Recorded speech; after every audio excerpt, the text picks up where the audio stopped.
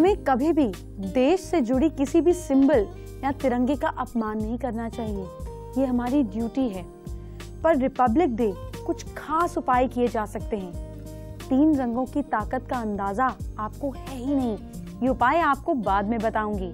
लेकिन अभी मैं आपको बताने वाली हूँ कुछ खास नियम जो आपको अपने लिए बनाने हैं, अपनी तरक्की के लिए बनाने हैं। बात करते हैं आपके फ्यूचर से जुड़ी जानकारी की। सबसे पहले आपको नियम बनाना है, अच्छी डाइट का नियम।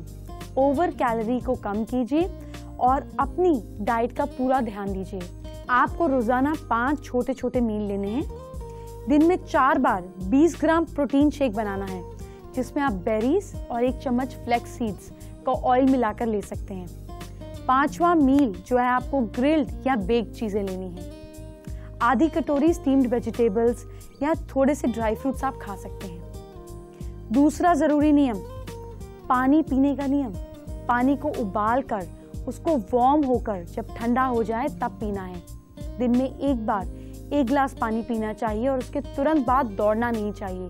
ये खास नियम बनाइए। खाने के तुरंत पहले या बाद में पानी नहीं पीना चाहिए और पानी पीने के बीच में आधे आधे घंटे का गैप होना चाहिए।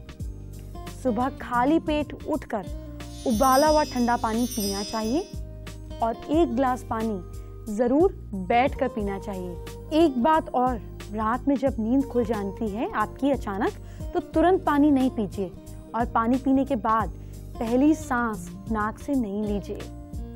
बात करते हैं तीसरे नियम का, जो है जूस पीने का नियम। पूरे दिन में पाँच या छह बार अलग अलग तरह के जूस पिए।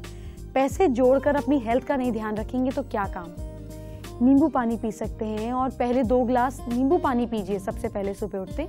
उसके बाद कोई भी फ्रूट जूस ऑरेंज जूस टमाटर, गाजर, चुकंदर, कोई भी जूस आप मिक्स कर कर ले सकते हैं। दोपहर में तरबूज का जूस ज़रूर पीना चाहिए।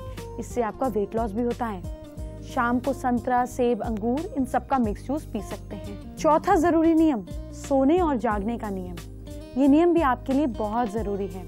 आप काम में इतना बिज़ी रहते हैं, लेकिन छह से आठ घंटे की नींद आपको ज़रूर लेनी है। सोने और जगने का टाइम फिक्स कीजिए।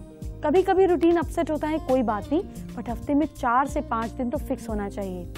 इसको पूरी तरह से निर्धारित करेंगे तो आपकी नींद का पैटर्न परफेक्ट रहेगा। पांचवा, सबसे ज़रूरी नियम मॉर्निंग वॉक का नियम। अपनी डेली रूटीन में इस नियम को शामिल करें। रोज सुबह के समय उठकर वॉक पर जाएँ।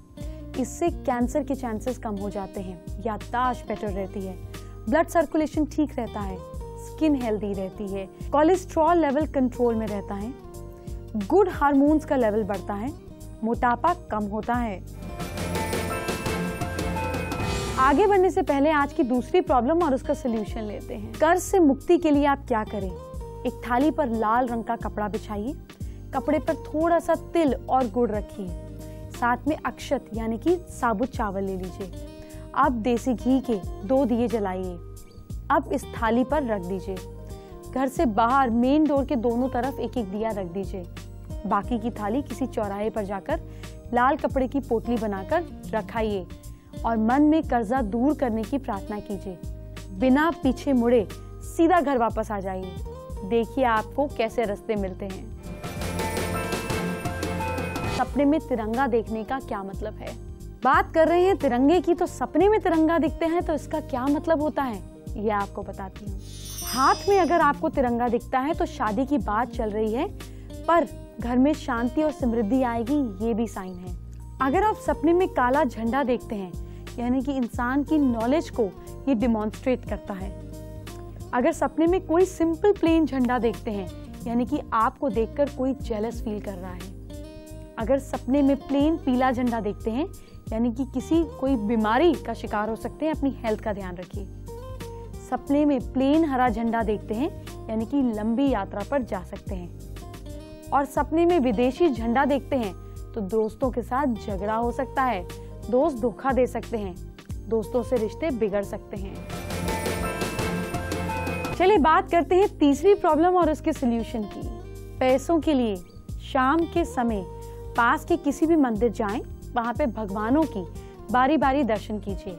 फिर लक्ष्मी जी और गणेश जी के दर्शन करना बिल्कुल नहीं भूलिए। और एक काम कीजिए, आपकी जो इच्छा है, उसको रेड पेन से लिखकर पीली पर्ची के ऊपर माँ लक्ष्मी की मूर्ति के पीछे छुपा दीजिए या दान पात्र में डाल दीजिए। देखिए, आपकी इच्छा कैसे पूरी होती है।